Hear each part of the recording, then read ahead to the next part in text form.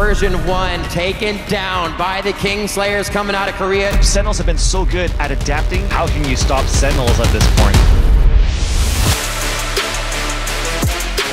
일단은 음, 내일 뭐 센티널 경기에서 이제 저희는 그냥 하던 대로 하면은 충분히 그냥 이길 수 있을 거라 생각하고 New Turn, they play very different from Europe or Brazil or NA. Like, they played very, very weird. So, if you don't have a game plan versus them, you might get caught off guard. 그렇게 생각하면 뭐 그렇게 되는 거 그렇게 생각할 수도 있지 결과는 모르는 거니까이라고 말해주고 싶네요 They don't have much of a read on us. I think we've proven everybody wrong this far, and I think we'll continue to do so and keep winning.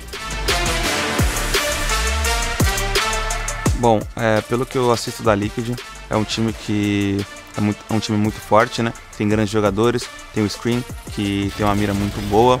É um time muito tático. Vikings, they're definitely a strong team. They like to get in your face. It's going to be a great match. Vikings, EU is definitely coming for you. With a version 1 upset, the lowers are rumbling with deciding matches between EU, NA, and Brazil. Fnatic going into it is definitely favorites. Their just team play and all of that is really, really strong. We're just going to play our game and show up.